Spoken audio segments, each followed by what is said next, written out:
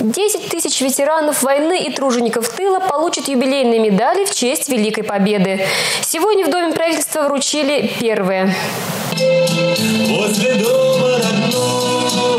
Военный вальс как символ героического прошлого страны, когда рядом были вера и надежда, горечь и печаль. Они вернулись домой с победой, живые. И это главное.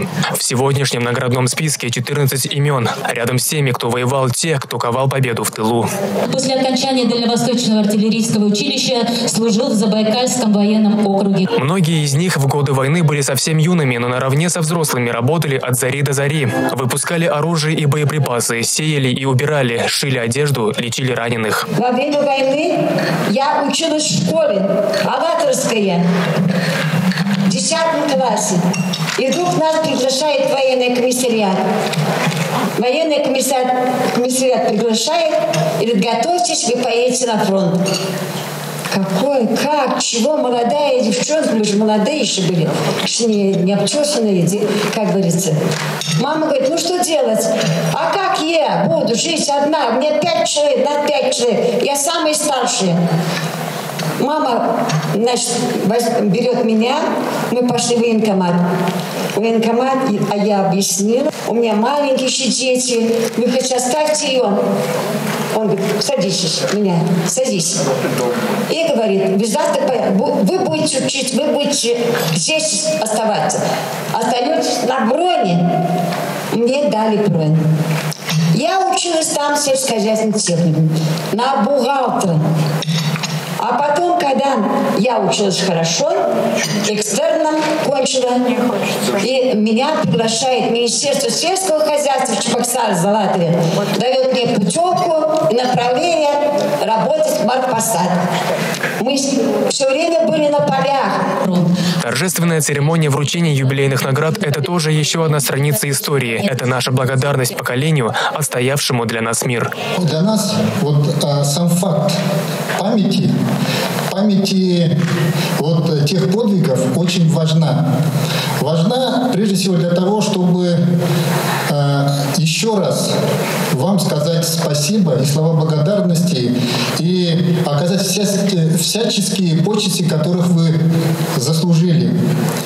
Ну и, конечно же, это важно для того, чтобы нам воспитывать наше подрастающее поколение, потому что только памятью сильна наша нация, только памятью о тех э, людях, которые, не жалея себя, отдавая всего себя, сотворили этот День Победы. Рифат Фаткулин, Маргарита Мельникова, Игорь Зверев, Республика. Тех, кто не смог сегодня прийти на торжество, Олег Николаев поздравил лично. Спасибо вам большое. Спасибо.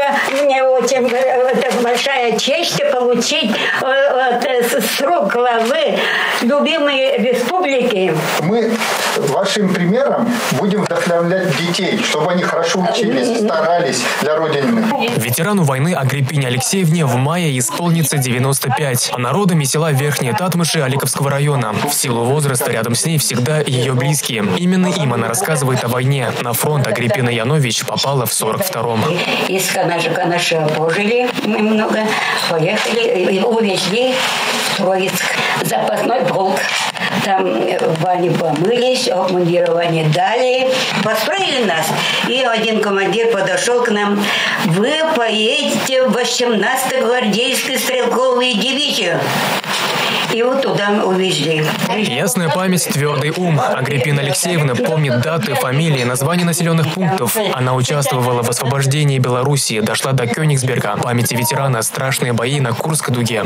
Сражение началось 5 э, июля. Вообще, э, немцы хотели 5 июля, но наши опередили и начали с утром 4 часа. Наше дело оказать первую помощь медицинскую э, раненым солдатам на полях сражений. Прошли годы. Без конца была действующая армия. Агриппина Янович награждена орденом Отечественной войны, медалями за взятие Кёнигсберга, за боевые заслуги. После демобилизации она окончила педагогическое училище и долгие годы работала учителем начальных классов в родном районе. Нынешнему поколению я хочу, чтобы они очень хорошо, дружно жили, трудились и, и хочу, чтобы войны не было. То, что мы пережили, наши дети, внуки, правнуки не видели.